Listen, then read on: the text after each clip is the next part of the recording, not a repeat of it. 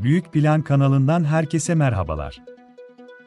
BBC'nin özel haberinde, Wagner grubuna bağlı paralı askerlerin Libya'daki operasyonlarının, Rus ordusuyla ve savaş suçlarıyla bağlantılarına dikkat çekildi. Wagner grubundan bir paralı askere ait unutulan tablette, savaşçının örgüt içindeki kritik rolü ve diğer savaşçıların takip edilebilir kod adlarına dair bilgi yer alırken, uzmanlar, BBC'nin ele geçirdiği alışveriş listesindeki askeri teçhizatın yalnızca Rus ordusu tarafından temin edilebileceğini savunuyor tabletin, 2020 yılı baharında.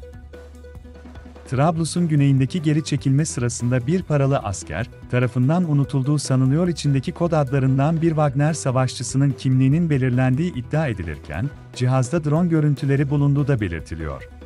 Libya istihbarat kaynağı tarafından BBC verilen 19 Ocak 2020 tarihli 10 sayfalık kapsamlı silah ve askeri teçhizat listesinin de Wagner grubunun çekildiği bölgede bulunduğu tahmin ediliyor.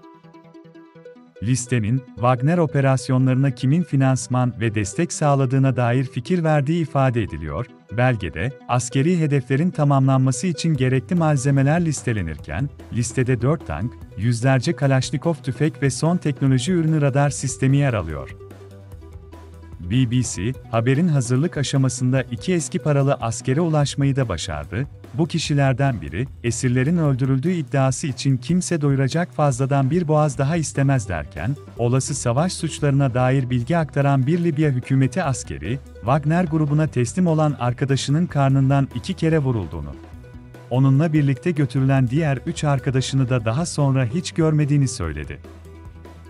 Moskova yönetimi, Wagner grubuyla herhangi bir bağlantısı olduğunu reddediyor. İlk kez 2014 yılında Ukrayna'nın doğusunda çıkan çatışmalarda Rus, yanlısı ayrılıkçılara verdiği destekte adını duyuran Wagner grubunun sonrasında Suriye, Mozambik, Sudan ve Orta Afrika Cumhuriyeti gibi ülkelerde faaliyet gösterdiği iddia edilmişti.